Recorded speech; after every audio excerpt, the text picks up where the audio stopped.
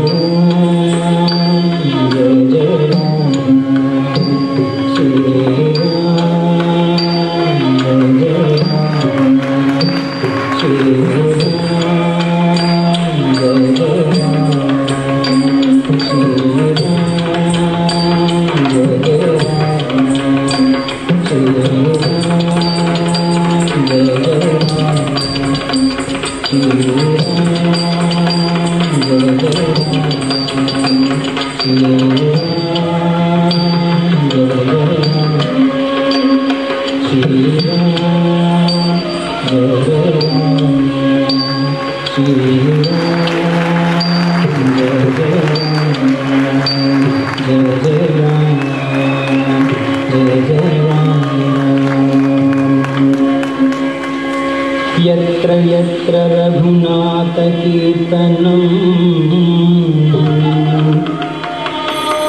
तत्र घृतमस्तकाञ्चनी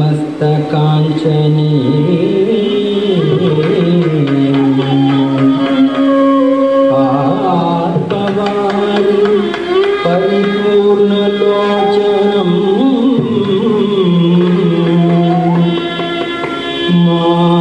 मारु मम द राक्षसान्दकम्